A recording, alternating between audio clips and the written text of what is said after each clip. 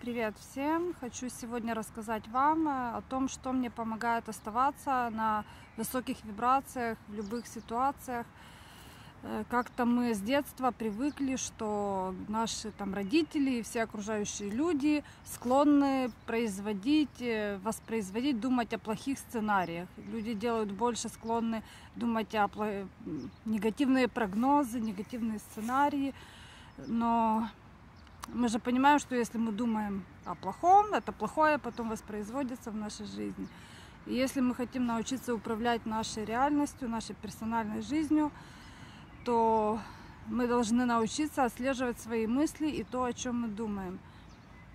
Так вот, э, что мне лично помогает всегда оставаться на высоких вибрациях, это любая негативная мысль, которая ко мне приходит, я ее перекручиваю в то, а как я хочу. Например, мне не нравится мое жилье, я думаю о том, а как я хочу. Мне не нравятся там какие-то отношения, э, я думаю, а как я хочу. Или я начинаю думать плохо про какого-то человека, я это отлавливаю, начинаю думать про этого человека хорошо и находить в нем хорошие качества и приписывать ему даже, может быть, несуществующие хорошие качества. И, например, в каких еще сферах, особенно про деньги. Очень важно про деньги отсла, от, отслеживать вот эти негативные мысли. Этот страх, что денег не будет, э, что э, мы же должны понимать, что это всего лишь чувство, это все лишь в голове. Деньги будут, деньги придут, они приходят на наше внутреннее состояние. Чувство вины, когда тратишь деньги, что потратил слишком много или не на то, что надо, вот надо было сэкономить абсолютно убирать это, эти все негативные чувства. Потом в отношении, там, кто-то что-то не так сказал, кто-то что-то... Вообще любую мысль перекручивать в то, а как я хочу, чтобы было.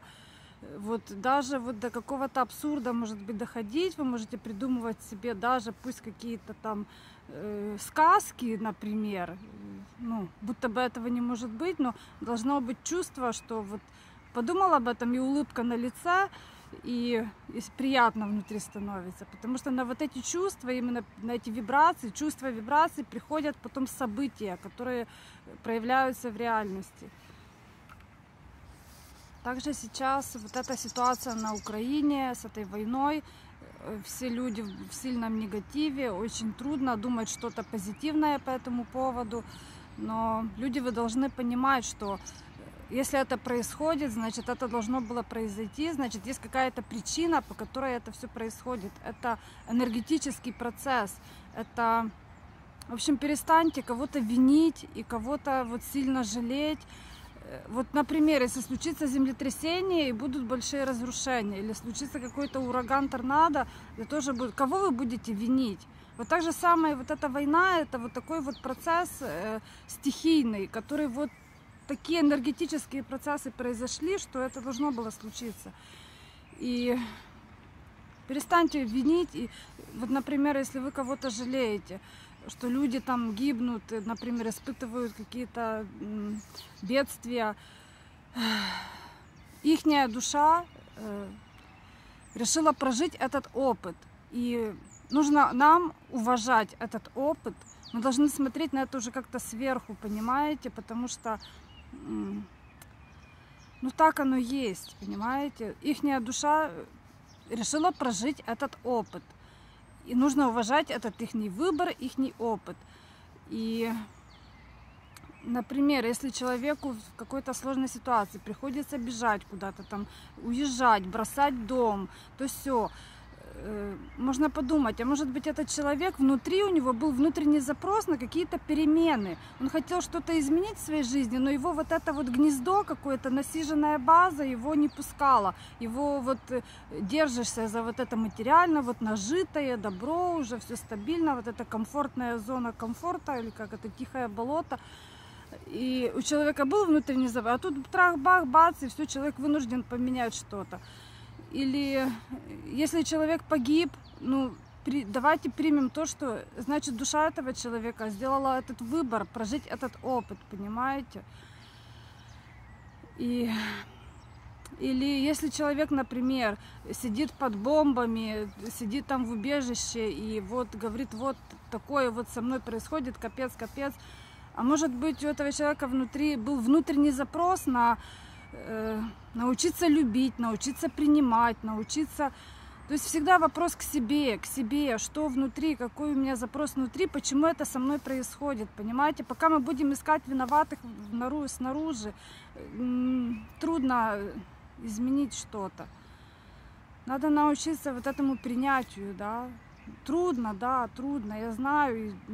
Мне скажут, ты там в безопасности, у тебя там тебе бомбы на голову не падают. Но поверьте, по э, уровню стрессу я пережила то, что вот людям приходится переживать. Тоже у меня в свое время я за три дня собрала детей, документы и уехала неизвестно куда. Ехала там двое суток в бусе, в жарком, блин, стояли на границе, блин, там сколько-то, 12 часов.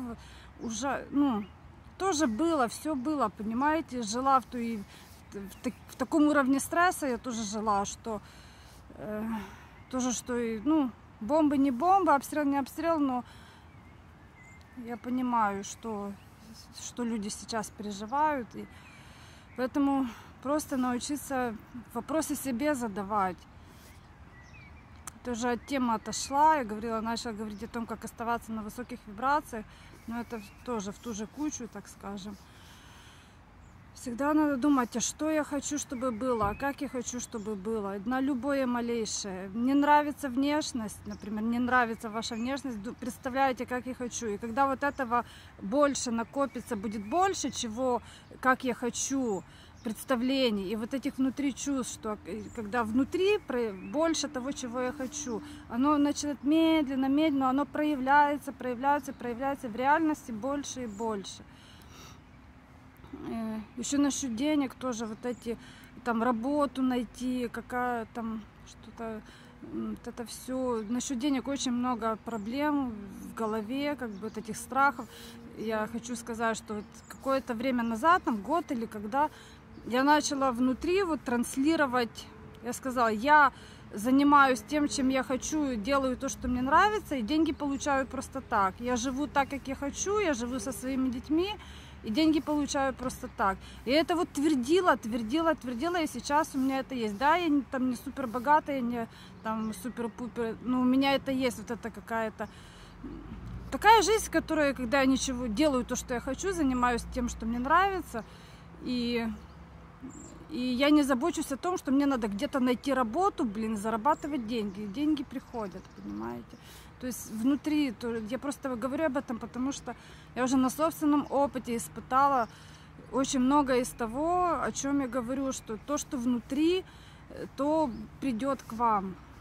В общем, люди, всем добра, любви. Я вас всех люблю, целую, обнимаю. Пока.